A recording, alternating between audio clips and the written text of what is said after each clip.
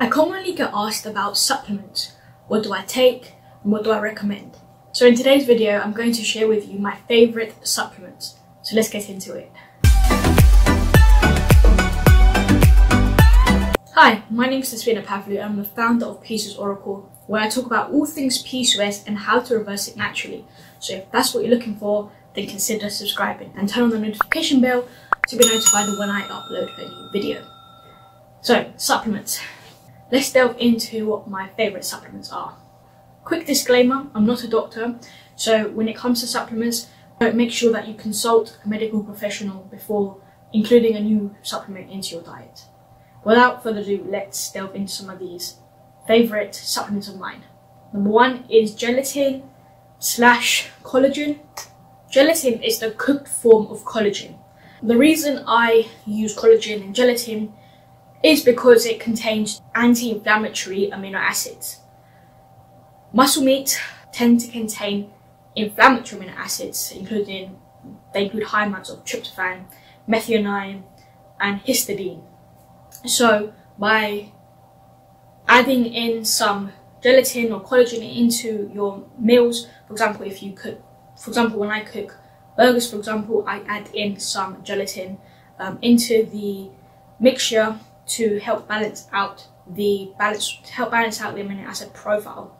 Some benefits of including gelatin into your diet include improved digestion, decreased joint inflammation, improved sleep, increased insulin sensitivity, improved allergies, improved memory, improved liver detoxification, improves the skin, hair and nails. It helps improve it helps arthritis, diabetes, it helps to stabilize blood sugar and it helps to improve wound healing. The brand of supplement that I personally use for collagen and gelatin is Saturée.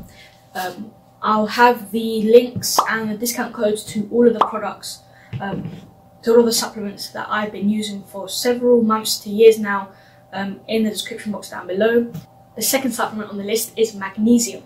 Magnesium is involved in 300 enzymatic reactions including muscle and nerve function, blood glucose control, and blood pressure regulation and it's needed for energy production. So as you can see, magnesium is needed for very important functions in the body. But unfortunately, stress depletes magnesium and as many of us are living in a chronic state of stress, we need to therefore be replenishing the lost magnesium. The greater our stress, the more that magnesium stores are depleted and this is known as the magnesium burn rate. A low magnesium level can cause energy depletion that leads to fatigue and the weakening of your ability to manage stress. So some of those benefits of magnesium include research reveals that magnesium has anti-thrombotic effects. Um, lower serum magnesium is associated with increased thrombotic risk. A deficiency of either calcium or magnesium can stimulate the parathyroid glands to produce more hormone, parathyroid hormone PTH, which increases calcium absorption but also removes calcium from the bones. Chronic stress depletes the body of magnesium, and research shows the higher the magnesium, the lower the cortisol. The recommended amount of magnesium is 5 milligrams per pound of body weight, but it's also important to recognize, take consideration the magnesium burn rate. When in those greater periods of stress, then you're gonna you're going to need more magnesium to help replenish those lost stores. Now the magnesium I personally use is the magnesium oil by Ancient Minerals. So I personally use a topical form of magnesium as I feel it's more absorbable in the body. I often take a couple of sprays um, at night on my feet and it really helps you fall asleep, keeps you relaxed and also just spraying in areas where you feel some pain um, does really tend to, I do notice some improvement um, so test that out, it's really helpful. The third supplement is cod liver oil. Now, the reason why I take cod liver oil is because it's a great source of vitamin A and vitamin D. I highly recommend reading Morley Robbins' Cure Your Fatigue book. He delves into exactly why not to supplement with vitamin D, um, because vitamin D isn't actually a vitamin, it's actually a hormone. But he goes into detail about vitamin D, just uh, I'm just going to read out a quote from the book here in Morley Robbins's is Cure Your Fatigue about vitamin D.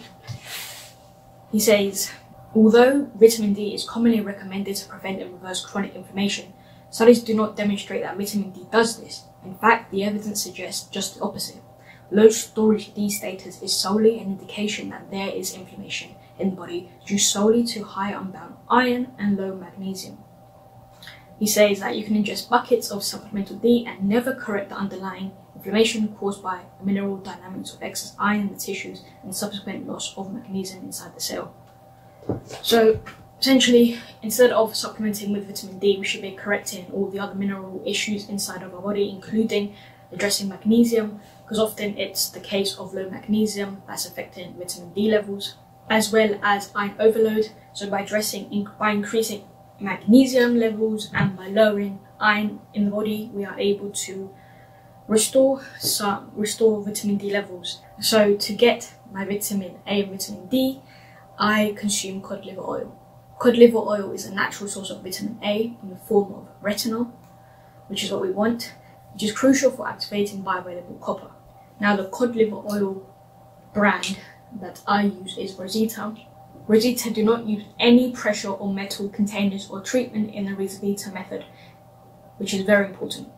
These oils are very delicate and must not be heated, extracted through pressure or exposed to air or metal in the process.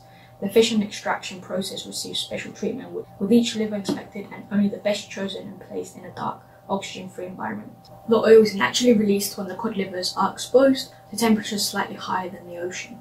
Some of the benefits of taking cod liver oil, the highly improved sleep sleep quality, the vitamin A can help with eye health and vision, the vitamin D can help with skin and hair health, your immunity.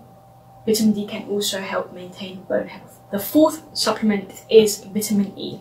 The reason why I take vitamin E is to prevent inflammation and because it's anti-estrogen. Now I'm going to pull up a research article by Dr. Ray Peat um, and highlight some of these reasons why I take vitamin E. So some research describe vitamin E as a progesterone sparing agent since so many of its anti-estrogenic effects resemble those of progesterone. Estrogen causes changes in the uterus that prevent implantation of the embryo and that impair support for its development if it has already implanted. It decreases the availability of oxygen to the embryo while vitamin E increases it. Dr. Peat explains that in his experiments, vitamin E increased the amount of oxygen in the uterus, correcting an oxygen deficiency produced either by supplemental estrogen or by old age. Progesterone has similar effects on the delivery of oxygen to the uterus. Many of the events involved in inflammation are increased by estrogen and decreased by vitamin E. Estrogen causes capillaries to become leaky, vitamin E does the opposite. Estrogen increases platelet aggregation and decreases a factor that inhibits platelet aggregation, vitamin E does the opposite. Excess clotting is known to be caused by too much estrogen and also by a vitamin E deficiency. Clotting leads to fibrosis, and there is a clear evidence that vitamin E prevents and cures fibrotic diseases. Estrogen increases prostaglandin synthesis, vitamin E decreases synthesis. If now, if you've been following the YouTube channel for a while and you've watched numerous, numerous of my videos, you may have come across that I've been saying to avoid consuming polyunsaturated fats, PUFAs. Of course, it's difficult to completely avoid all polyunsaturated fats, especially if you go out, or um, it's going to be in small amounts in various things. Um, and also if you're trying to, I guess, eliminate those polyunsaturated fats that are found in your tissues, um, vitamin E can act as, can protect the body against poly polyunsaturated fats. And um, obviously swapping out those PUFAs for saturated fats can obviously take out those stored PUFAs from the tissues.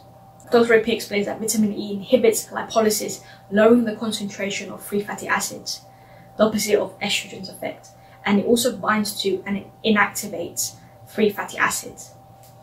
Since the requirement for vitamin E decreases as the consumption of unsaturated fats decreases, the requirement, if any, will be very small if we didn't eat significant quantities of those fats. Finally, many studies show that vitamin E can protect and improve mitochondrial energy production.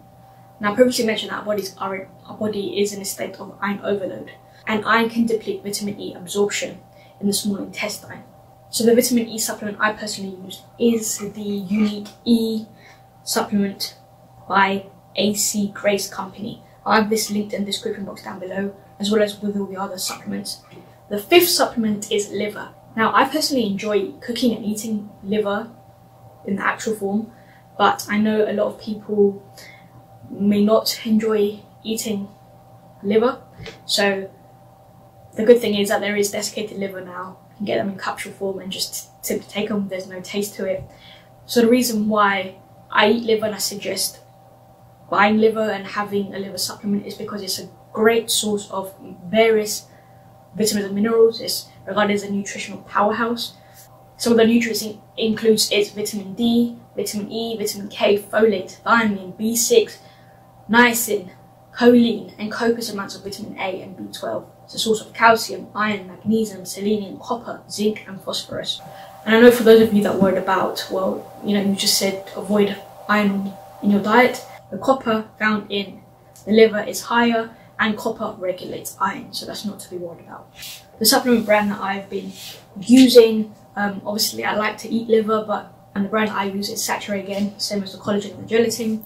Um, and this is Australian grass-fed beef liver.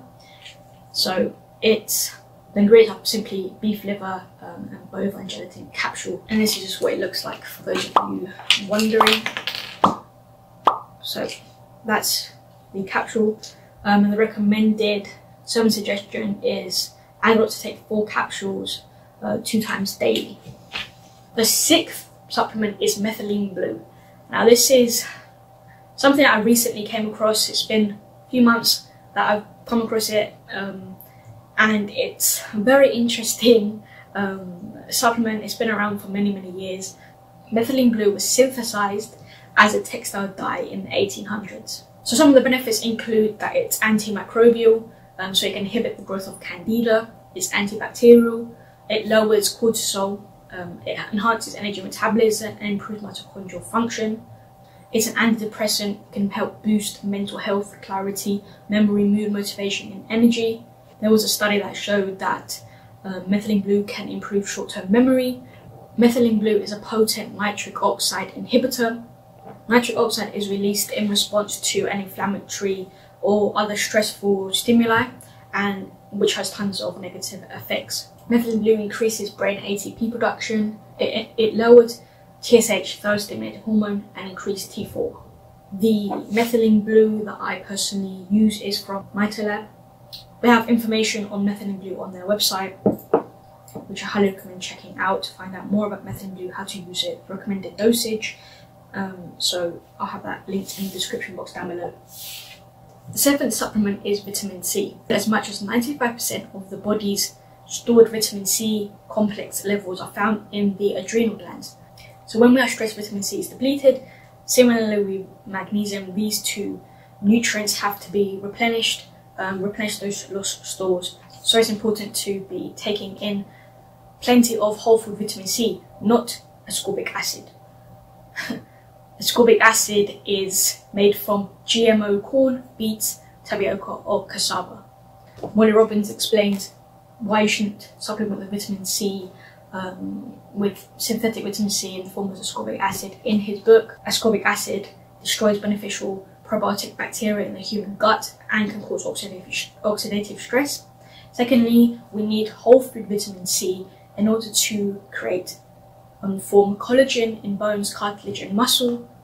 Thirdly, ascorbic acid causes ceruloplasmin to lose its peroxidase function that's essential to regulate and mobilize iron. So in order to be eliminating the iron from the body so it doesn't become overloaded in the tissues, to make, we make, need to make sure that we don't lose peroxidase.